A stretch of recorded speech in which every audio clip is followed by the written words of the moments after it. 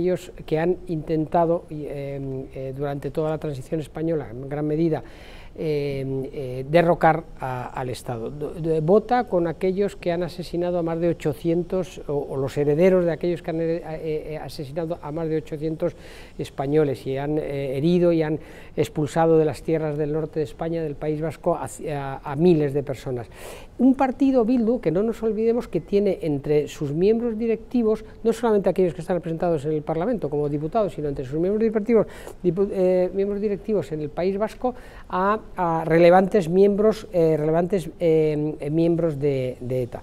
Eh, hoy es un día triste, un día triste, pero que va, a ser, va, a seguir siendo así durante el tiempo que dure esta legislatura, porque Sánchez, el presidente Sánchez, va a intentar, por lo menos, llegar a la legislatura y conseguir eh, eh, que un parlamento tan uh, fragmentado le avale en, ese tipo de, en este tipo de políticas. Y por último, eh, no podemos olvidar que entre los votos negativos a esta propuesta del Gobierno han eh, sobresalido, han resaltado los votos de los partidos catalanes que se sienten, bueno, que han sido supuestamente espiados y que eh, echan en cara, digamos, la, la, en cara al gobierno, digamos, esta actuación. Ha sido en concreto Esquerra Republicana, Exacto, Esquerra, la que se por... siente más afrentada, sí. eh, quien ha exigido la dimisión de Margarita Robles. Exacto, eh. pero también han votado en contra eh, Junts por Cat y el ACUP. Y evidentemente van ahora a la caza de la ministra de Defensa, es decir, es el eh, miembro del gobierno